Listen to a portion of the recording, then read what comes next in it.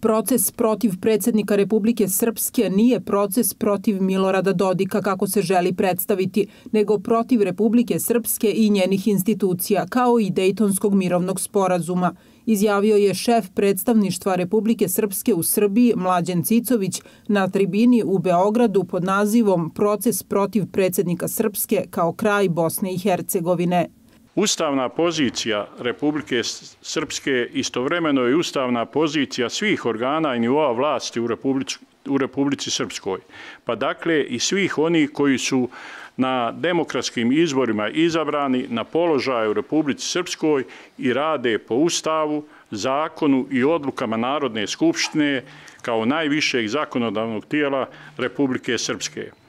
Proces protiv predsjednika Republike Srpske nije proces protiv Milorada Dodika, kako se želi predstaviti, to je proces protiv institucija Republike Srpske, protiv same Republike Srpske i u logičnom slijedu je proces protiv Dejtonskog sporazuma.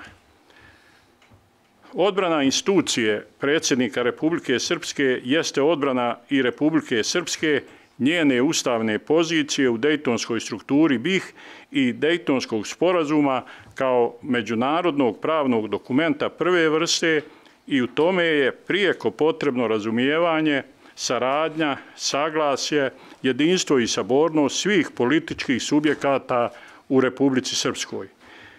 Vjerujem da je svima jasno da za Srbe ne bi bilo izbora u BiH